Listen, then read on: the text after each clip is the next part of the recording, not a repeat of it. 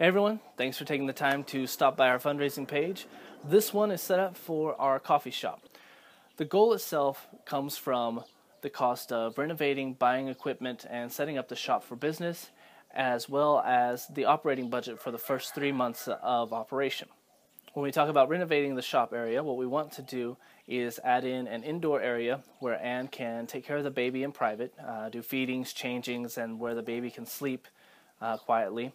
We also want to set up a counter area where Anne can take orders, make drinks, and serve drinks from. In the customer side of it, we want to set up a partition to block the noise from the smoothie and coffee making so that people can, can sit inside and do homework, read, play games, talk quietly, but not be disturbed by the sounds of their orders being made.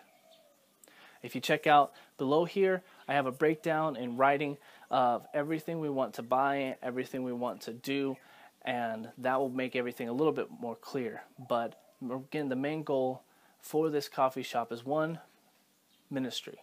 We have a place where we can be in control of the environment and we can open it up and say, all right, Friday nights, we're doing Friday night fun nights, we're having fun, we're going to play games, we're going to do English activities, do you know what we need to do to continue doing our ministry. And two, it's a place where Anne can work, be near family, uh, her mom and her brother, as well as myself, take care of the baby, and have an income where she can fulfill the cultural expectation of being the oldest child, helping take care of her mother and her brother. So, thanks again for stopping by. Thank you again for however you choose to help us. Um, please share this on. Take care.